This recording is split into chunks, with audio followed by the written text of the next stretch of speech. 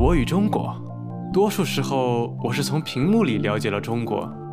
然而，我最了解的中国并不在屏幕里，而是常年在这云雾里的逶迤土地。这片土地西接连绵起伏的高山，东连沃野千里的平原，穿山而过的岷江在此稍稍放慢了向东的脚步。汹涌的江水并未成为猛兽，而是将所到之处变成了天府。这一切都得归功于它。全世界最古老、唯一留存且仍旧使用的水利工程，也是因为水利工程，这片土地才孕育出了多彩的生命。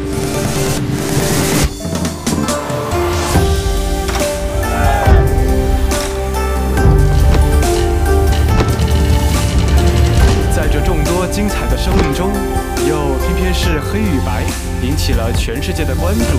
在全世界的关注下，此物每天除了吃饭睡觉，几乎什么也不做。